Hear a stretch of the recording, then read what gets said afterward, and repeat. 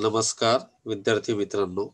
आज आपण advance accounting या विषयातील बँक फायनल अकाउंट याचे एम सी क्यूज बघणार आहोत. हे एम सी क्यूज बघण्या अगोदर सर्वप्रथम बँक फायनल अकाउंट याबद्दलची माहिती तुम्हाला या अगोदरच्या व्हिडिओमध्ये मी सांगितलेली आहे. प्रश्न क्रमांक एक total head of bank final account in balance sheet म्हणजे बँक फायनल अकाउंटमध्ये बॅलन्स शीटमध्ये किती हेड असतात? तर त्याचं उत्तर आहे बी बारा हेड असतात.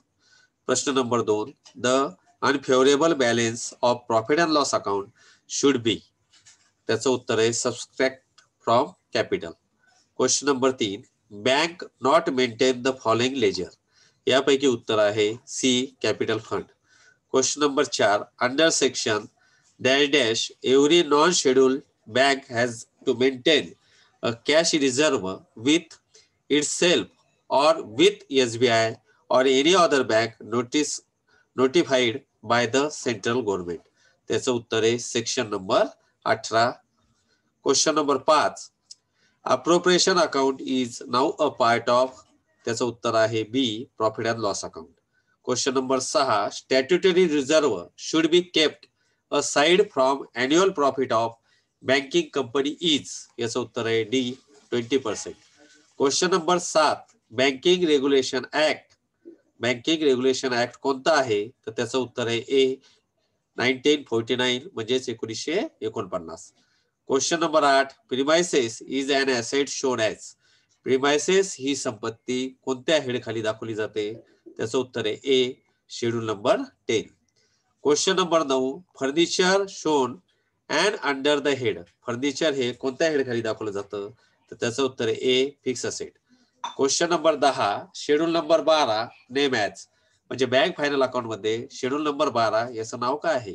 त्याचं उत्तर आहे C contingent liability question number अकरा provision for income tax shows under the head त्याचं उत्तर आहे ए ऑदर लायबिलिटी म्हणजे प्रोव्हिजन फॉर टॅक्स हे बॅलन्स शीटच्या ऑदर लायबिलिटी ह्या हेड खाली दाखवतात.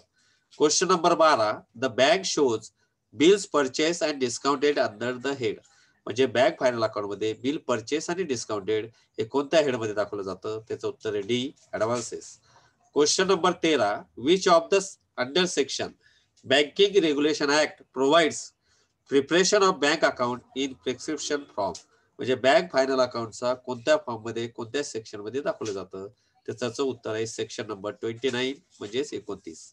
क्वेश्चन नंबर चौदा postage and telegram shown under the schedule postage and telegram हे कोणत्या हेड खाली दाखवलं जातं? त्याचं उत्तर आहे A operating expenses question number पंधरा the bank shows branch adjustment debit balance shown under the head म्हणजे बँकमध्ये जे बॅलन्स आहे जे डेबिट बॅलन्स असेल तर ते कोणत्या हेड खाली दाखवलं जातं? त्याचं उत्तर आहे B other asset question number सोळा financial year of banking companies year म्हणजे बँकेचं फायनान्शियल इयर कोणतं? काउंट केलं जातं? त्याचं उत्तर आहे बी एक एप्रिल ते एकतीस मार्च.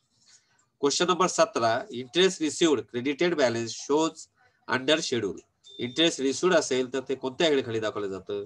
त्याचं उत्तर आहे B interest earned question number अठरा the bank shows silver under the schedule silver ही संपत्ती बँकमध्ये कोणत्या हेड खाली दाखवली जाते?